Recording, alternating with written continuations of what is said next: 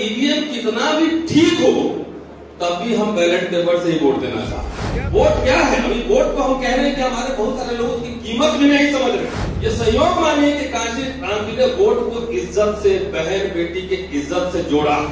कि आने वाली पीढ़ियाँ किस तरह व्यवहार करेगी? वो क्रांति करेगी, संविधान को ध्वस्त कर देगी, ये मैं नहीं जानता। सुप्रीम कोर्ट और संसद घेरने से पहले ज़्यादा नहीं। पाँच से दस हज़ार लोग जो है, पहले जितने पार्टी के राष्ट्रीय अध्यक्ष है, उनका ऑफ़िस घेरिए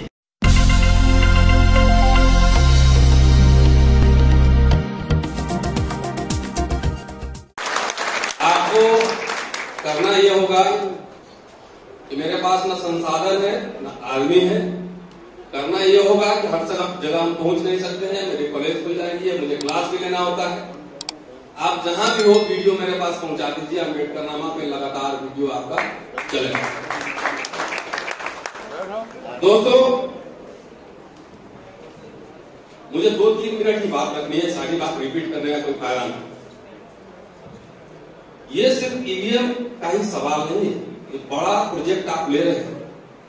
ये पूरे नावी है, पूरे समस्या के अगर ईवीएम कितना भी ठीक हो तब भी हम बैलेट पेपर से ही वोट देना चाहते हैं। क्या बात है?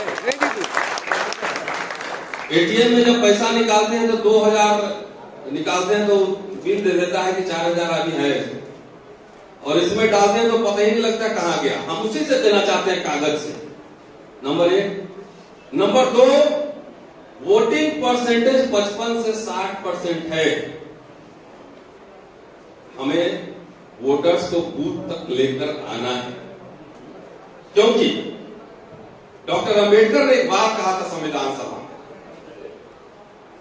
कि आने वाली पीढ़ियाँ किस तरह व्यवहार करेंगी, इसकी भविष्यवाणी में नहीं कर सकता। वो क्रांति करेगी, संविधान को ध्वस्त कर देगी, ये मैं नहीं जानता। कोई भी संविधान कितना भी अच्छा हो, अगर उसको लागू करने वाले लोग खराब हो तो संविधान खराब होगा कोई भी संविधान कितना भी खराब हो, उसके लागू करने वाले लोगों की इच्छा शक्ति अच्छी हो वो संविधान अच्छा हो एक सज्जन ने अभी कहा, मैं सुन रहा था आया था कि ये शुरू से ही गड़बड़ मामला था। तो सब कुछ जो है, आपको पिताजी अगर बढ़िया जैसा होटल जैसा मकान बना के देते हैं तो उसको मेंटेन करने की, बचाने की ज़िम्मेदारी भी आपकी है। हर समय पिताजी आपके आकर नहीं बचाएँगे और व्हाइट बॉल उसमें नहीं करा। वोट क्या है? अभी वोट को हम कह रहे हैं कि हमारे बहुत सारे लोग उसकी कीमत भी नहीं समझ रहे। वोट ये पहला ऐसा चीज़ है जिसने प्रजा को नागरिक में तब्दील किया। कि राजा अब जो है माँ के पेट से नहीं बैलेट बॉक्स से निकलेगा। याद कीजिए डॉक्टर अंबेडकर का भाषण। कि हम राजनीतिक समानता के युग में तो प्रवेश कर गए हैं एक व्यक्ति, एक वोट। लेकिन सामाजिक, आर्थिक रूप से हम घोर विषमता वाले समाज में अगर इसको तुरंत दूर नहीं किया गया तो इससे पीड़ित जनता जो है, इस संसद में सुरंग बना देगी जनता अपने आप नहीं आएगी बनाने, ये आप लोग का भानु प्रताप जी काम है। समाज में बदलाव होता नहीं है, लाना पड़ता है। अपने आप ऑटोमेटिक कुछ नहीं होता। उस वोट को पहले लोग नहीं देने जाते थे, बूथ लूट लेता था, या लोग खरीद भी लेते थे, आज भी खरीदते हैं।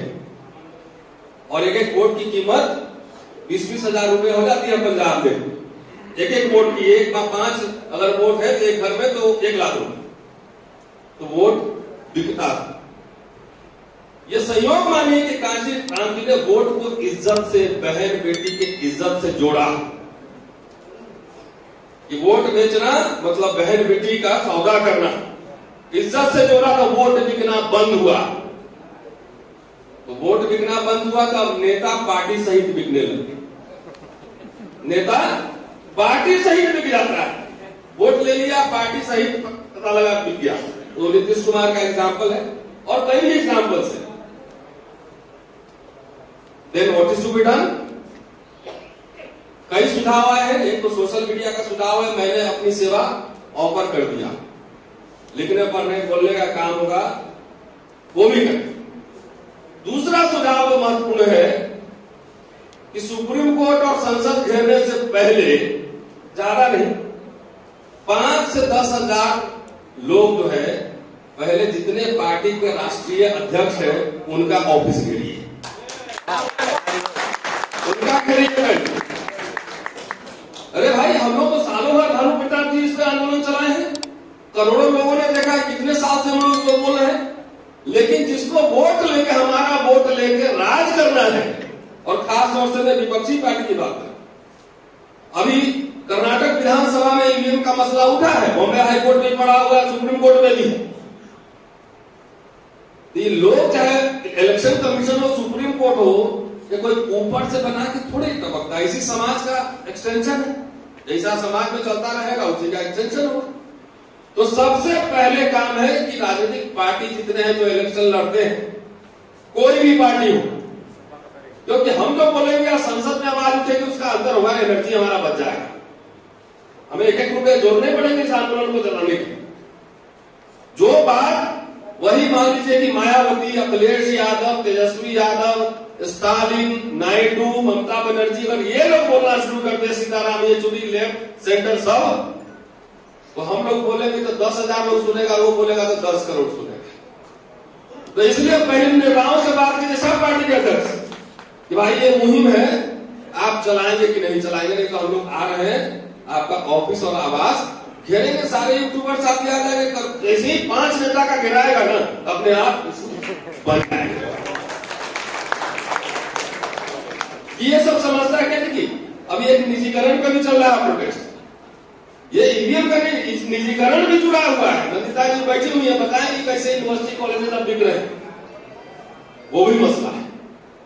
तो साथियों, यही मेरा सुझाव है और कहने के लिए तो बहुत सारी बात लेकिन बहुत सारे साथी हैं, बहुत लंबा बोलने का कोई फ़ायदा नहीं है। ईवीएम का मसला एक राजनीतिक मसला है और इसका हल जो है, राजनीतिक रूप से ही निकलेगा जब तक संसद और सड़क पे ये मामला गर्म नहीं होगा। ये मसला रिजॉल्व होने वाला नहीं है। शुक्रिया, जय हिंद।